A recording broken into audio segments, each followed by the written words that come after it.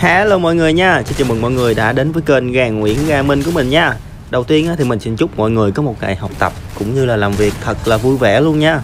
Và cái cờ nhiếp ngày hôm nay mình sẽ nêu lên ba cái sai lầm khi mà các bạn kéo tâm one shot M1887 nha. Mình tin là các bạn sẽ bị gặp phải rất là nhiều luôn. Và sở dĩ mà mình làm clip này là tại vì trên kênh của mình nó có khá là nhiều bạn yêu cầu mình làm luôn. Các bạn yêu cầu mình là anh ơi anh làm hướng dẫn ba cái sai lầm khi mà one shot M1887 đi thì trên kênh mình đó thì mình cũng đã có hướng dẫn cái video hướng dẫn về one shot rồi. Nhưng mà hôm nay video này mình sẽ nói về những cái sai lầm nha, và cách khắc phục luôn. Với còn một nguyên nhân nữa là hiện tại thì bây giờ Gagana cũng đã chấp nhận được cái việc mà one shot này là một cái kỹ năng rồi, anh em ơi. Gagana cũng đã tạo ra những cái giải đấu lớn về one shot rồi, anh em ơi. Nhưng mà thật sự là không hiểu tại sao mà chỉ cho những cái người nổi tiếng người ta bắn thôi. Những người à, game thủ chuyên nghiệp á, những người đó bắn thật sự mình nhìn mình như là con boss vậy đó các bạn, nhìn như one shot đó mấy người đó không có biết bắn one shot gì hết nhưng mà lại ờ, đưa vô đấu one shot. Thì mình thấy nó không có cái gì mà đẹp mắt hết trơn á. Kêu vô đấu one shot mà toàn là bắn hai tới ba viên không mà thực sự mình rất là chán luôn. Nhưng mà không phải cái đó là không phải trách ờ, game thủ chuyên nghiệp được mà chỉ trách nhà phát hành thôi không chịu tuyển nhân tài về á các bạn. Mình tin là thời gian tới thì Gagana cũng sẽ chịu ờ, cho các bạn đăng ký tham gia thôi cho nên các bạn hãy tập one shot từ, từ lúc này là vừa đó nha nãy giờ nói chuyện linh ta linh tinh quá trời luôn mà chưa bao giờ clip không biết ông nào chửi tôi không nữa. Thì à, mình muốn trước khi mình vào clip luôn mình muốn nói với anh em một điều nữa là cái one shot này á thì chúng ta không thể nào mà áp dụng trong canh được đâu nha. Bởi vì bắn one shot kiểu này á, thì nó sẽ không có hiệu quả bằng các bạn bắn bình thường đâu. Bởi vì khi các bạn bắn one shot thì có nhiều tỷ lệ nó sẽ hụt nó sẽ không có trúng ờ, đầu nữa các bạn. Cho nên là các bạn sẽ không có hiệu quả bằng bắn bình thường bắn vào người đâu.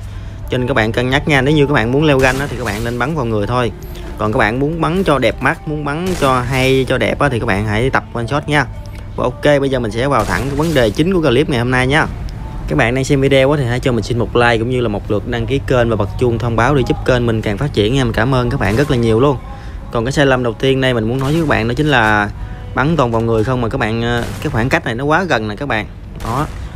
One shot mà các bạn đứng gần quá thì sẽ không bắn được đâu nha. Sọc gum, các bạn cứ nghĩ sọc gum đứng gần là kéo nó dễ nhưng mà không đúng đâu thực sự khi mà các bạn one shot đó, thì các bạn phải giữ khoảng cách xa ra. Nó đứng khoảng căn cách này nè nhưng mình cũng không biết là mấy mét hay là bao nhiêu nữa. Khoảng cách này bắn là ao tu vào đầu luôn các bạn. Các bạn nhảy lên khi rớt xuống ở chân vừa chạm đất các bạn kéo nước bắn lên là mình thấy là tỷ lệ vào đầu nó rất là cao luôn. Đó dưới khoảng cách này nữa nha các bạn.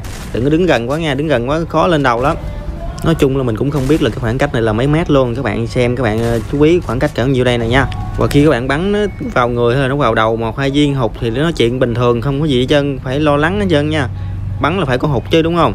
Rồi, tới cái ờ, sai lầm thứ hai nha các bạn. Sai lầm thứ hai là các bạn đã giữ khoảng cách này rồi, nhưng mà các bạn bắn nó toàn vào người thôi.